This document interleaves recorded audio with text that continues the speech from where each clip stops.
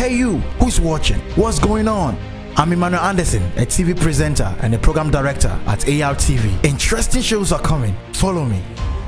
Believers Hangout is a Christian show where young believers come to talk about life from a Christian perspective.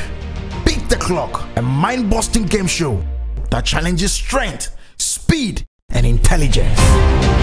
What's yummy?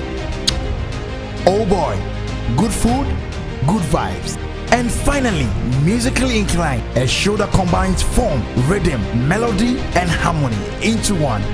Let the music play. Be ready, don't go anywhere.